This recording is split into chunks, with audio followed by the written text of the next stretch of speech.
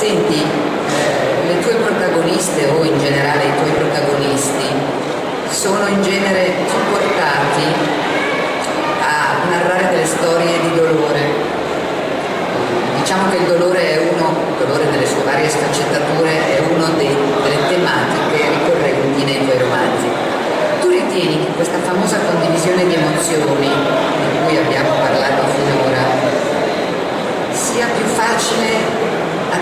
il dolore che attraverso la gioia, per esempio. Stanotte mi è venuto per racconto che ho messo sul blog che è l'amore, una delle prime volte si vede che a volte viene anche dal non soffrire. È vero che il dolore è un buon motore per la scrittura, ma non sempre ho scoperto che anche la serenità e i brevi istanti di, o lunghi istanti di felicità possono creare scrittura. Fa parte della mia evoluzione. All'inizio dicevo la scrittura è istinto, adesso dico la scrittura è una cosa molto complessa, ha detto anche tecnica, rigore, disciplina e lavoro. Qualche programma futuro? Beh, il mio programma eh, è quello del video romanzo per sordi. Fatto che io dica audio però è significativo. Molto. Video romanzo per sordi, questo è il mio programma ed è molto importante, ho detto perché, perché secondo me cambia anche me come persona e mi aggiunge qualcosa, quindi questo è l'unico programma.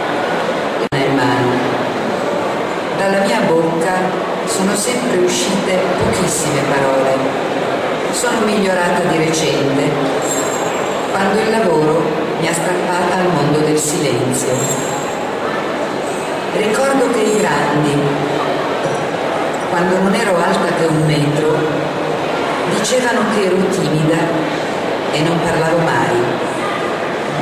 Avrei avuto molto da dire, ma non trovavo la voglia. Ero pigra, non timida. I muscoli del viso non volevano collaborare. E, allora come adesso, detestavo la retorica e non riuscivo a trovare argomenti che valessero la pena. Forse non mi facevano le domande giuste, oppure nessuna domanda era giusta. Scrivere invece era il gesto più naturale e se qualcuno si fosse dato la pena di capire non avrei perso tutti questi anni alla ricerca del senso della mia vita. L'avrei visto subito e mi sarei chiusa in questa stessa stanza molto prima, molto, molto prima. Scrivere, naturale come per tutti, ma più nascosto mio padre mi aveva interdetto ogni accesso alla cucina. Ero la primogenita, destinata a diventare bella e intelligente. Brava, bella e intelligente. E la donna bella è magra.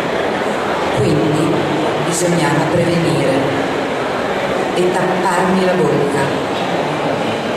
Niente merendine, cioccolato solo quando mia cugina Margherita, la vera magra di casa, la vera bella, implorava mio padre che ne desse un po' anche a me.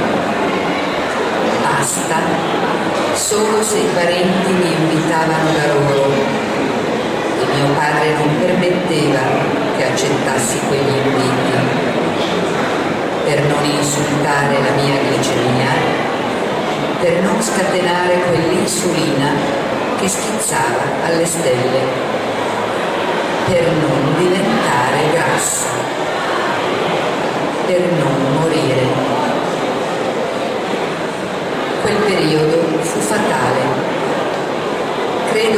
Ossessione per il cibo sia iniziata proprio lì.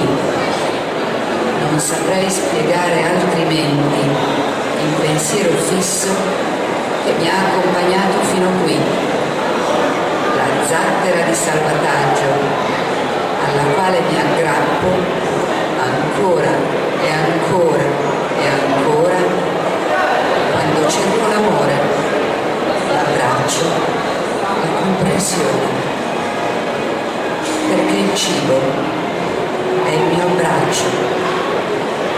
Per questo vado peso.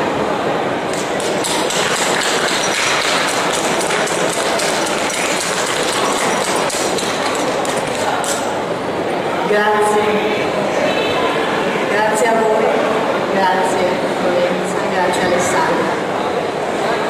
Grazie. Una domanda, sì.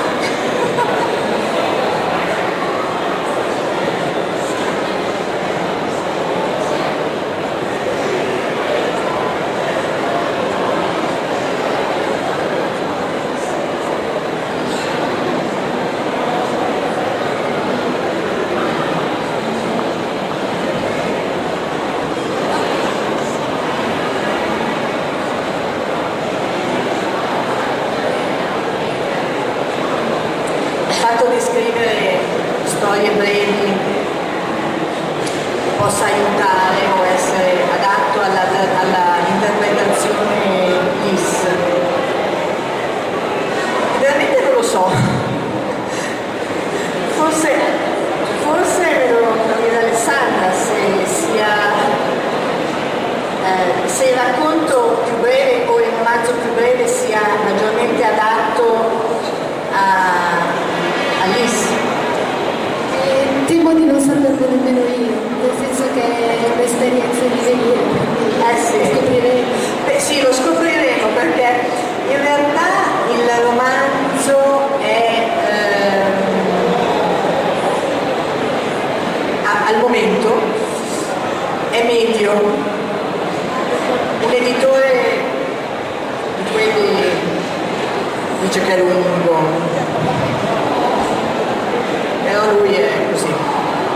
E non lo so, davvero lo vedremo, perché se...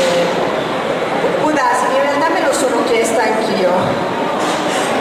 Poi però, preda del fuoco della scrittura, ho tirato fuori per ora un romanzo abbastanza lungo. Sì, a te piacciono le mie favole, lo so. Eh, ma ne hai anche, hai un libro interamente dedicato, più o meno, quindi grazie.